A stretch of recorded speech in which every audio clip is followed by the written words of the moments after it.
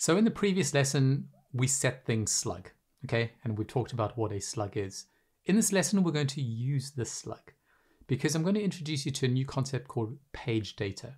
And similar to a current user, which is a nice short expression where we can grab a user's first name, last name, uh, email address, with page data, we also have a shortcut to our data. So I could say, uh, current company's logo, current company's name. It makes it really useful. So it's a way to associate a page with a thing in the database, okay?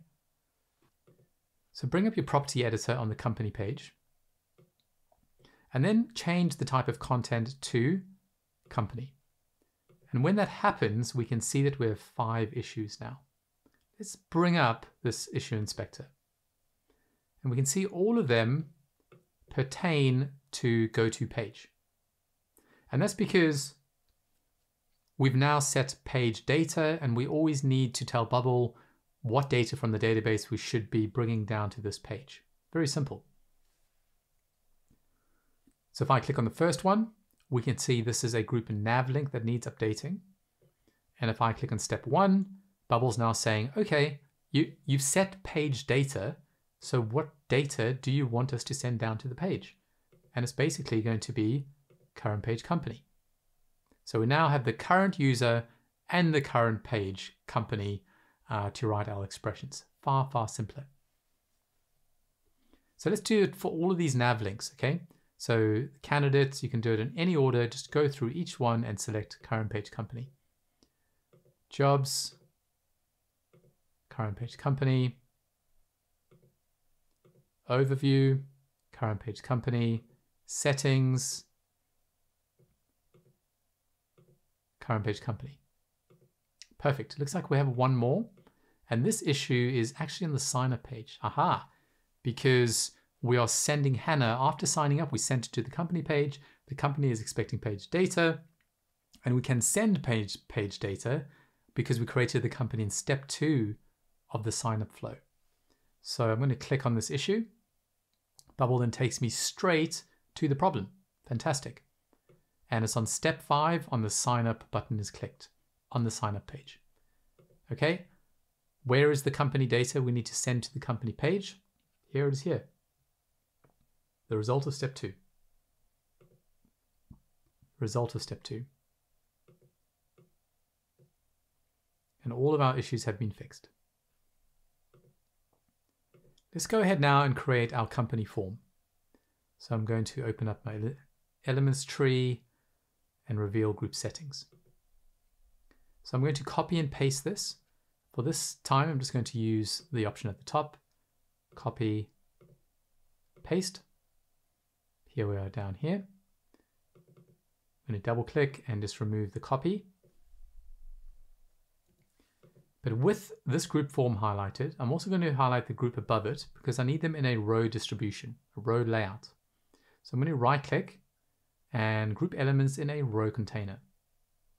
Fantastic. Now we could rename this to group forms. And on the layout tab, I'm looking for 32 pixels of column gap.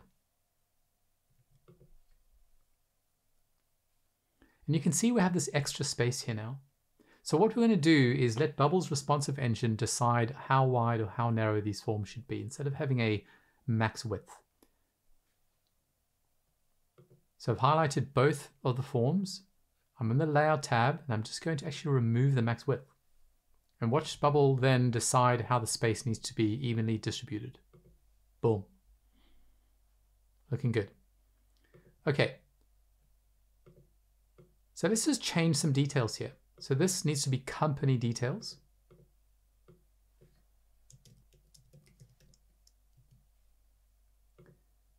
Subtitle, so complete these questions to start posting jobs to our pool of talent.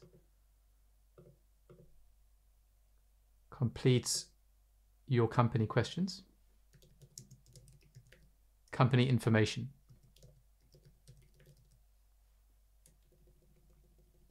Just keeping it nice and consistent. It would be strange if we had a title and subtitle here and then not on the right hand side.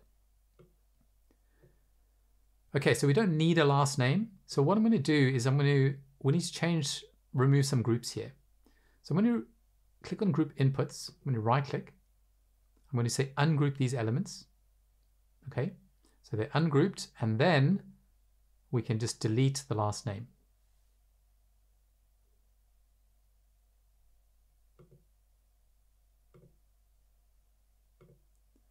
I'm going to grab uh, the first name, so the group label and input, and drag it outside of this group.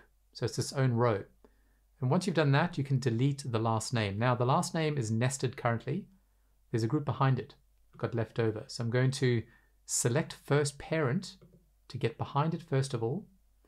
And then I'm going to scroll down to the bottom of this group inputs and select delete. Nice and clean. So this needs to say, instead of first name, just company name.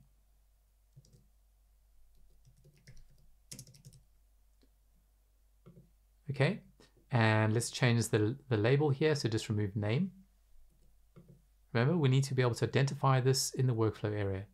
Now the initial content, because we have page data set, we can change this expression to the current page company's name. Lovely stuff. That will resolve to blue. Okay, so in the about, let's just change about to description. No real reason, just making a distinguishing design choice here. And then input about, let's change to input description. And the initial content, we're going to update to current page description. And then on the location, in brackets, company.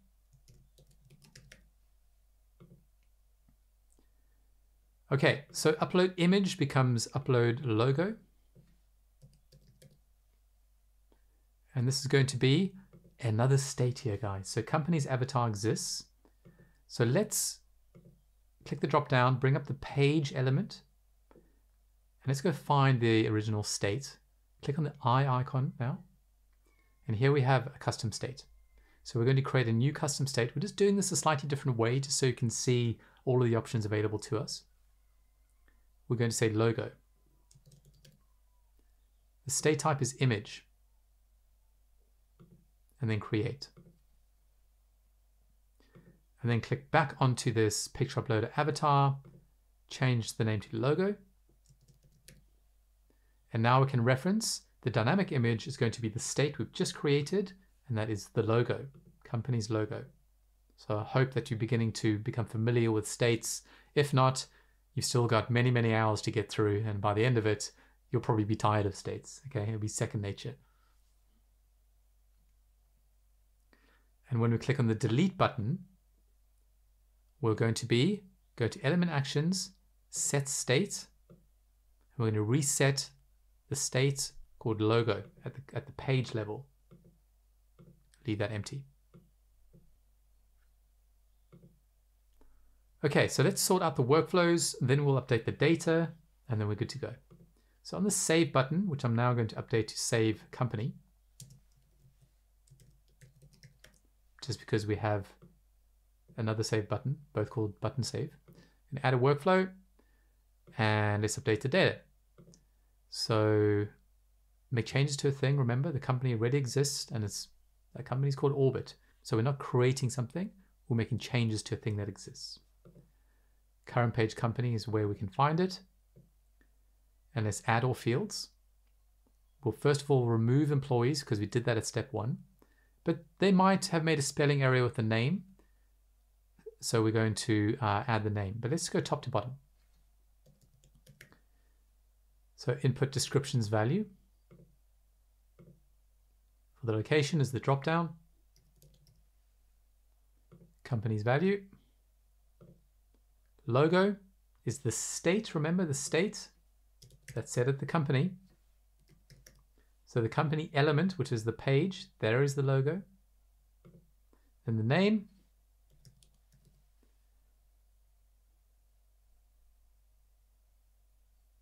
Here it is here, but it actually needs to be named a bit more clearly. Anyway.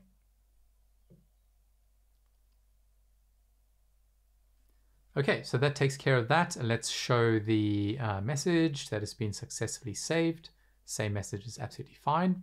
And now for this picture uploader, guys. So let's run this from the workflow area. So click here to add an event. That event is an input value is changed. Okay, now we have to select the correct picture uploader. This time it's the logo. Just jumping around here a little bit, I apologize. We're going to go element actions, set state. We've created the state, so let's just hook it up. State is at the company level. It's the logo state we created earlier, and it's this picture uploaders value. Bubble knows because we're listening out for an event based on the picture uploaders logo.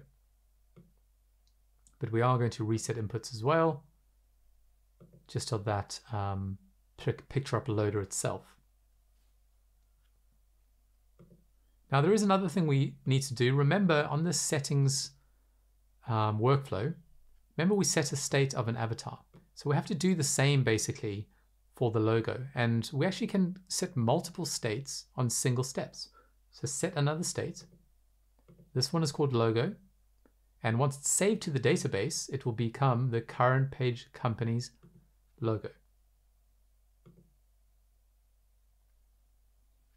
Okay, almost good to go. Let's just have another quick look around.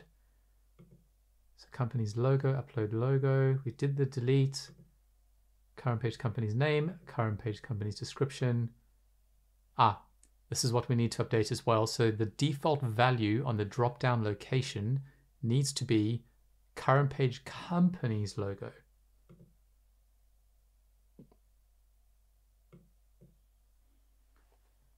As at this stage, we can also set dynamic values here.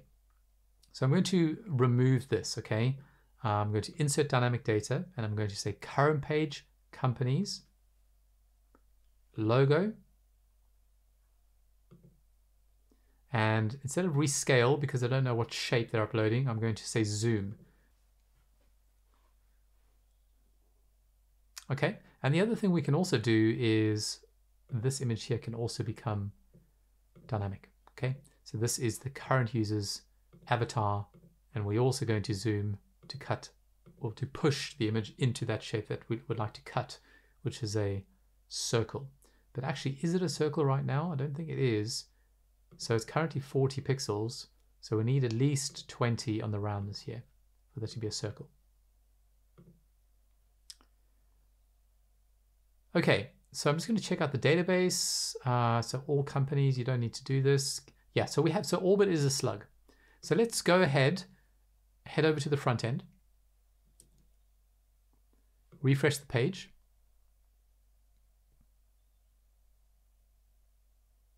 Okay, and I'm the current user, I'm Hannah, I'm logged in, and therefore the current user's avatar is showing.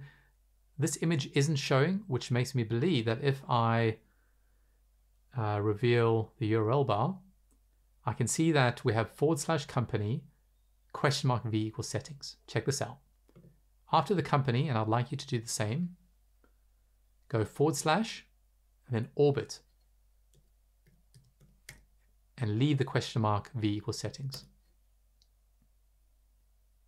Ah, sorry, we haven't actually uploaded the image. Okay, we haven't uploaded. I'm just going to remove, but make sure that orbit is up there because we need page data. And naturally, when Bubble asks or asked us on the sign up page to basically send data to this page, we went back, remember, and we did we did that. The result is step two.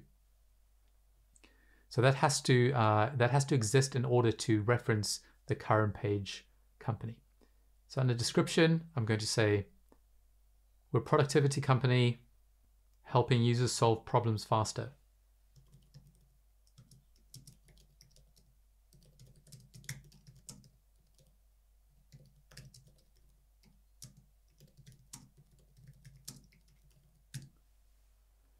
Okay. And location could be anywhere. Why don't we say this location is in New York? And Hannah is based, she works remote, remotely and she's based in San Francisco. And because we've reset the page as well, guys, we've obviously, we've lost this image here. Okay, naturally users won't just be refreshing pages. Uh, so that's not a huge problem. But for now, I'm just going to upload the Orbit logo in the resources folder. There it is there. And if I hit save, you can see that now orbit exists up here. And if I actually click on the settings again, that will bring, the state will be reset. Okay. So that's fine. We could also set the state on naturally on a page load. That's up to you. I decided to set it on the click of that settings group nav link. Okay guys, this is looking really, really good. I'm pretty happy with this. Well done for coming this far. I think you've learned a lot in this section, a lot of new concepts. I think you're doing really well. Keep going, and I'll see you in the next lesson.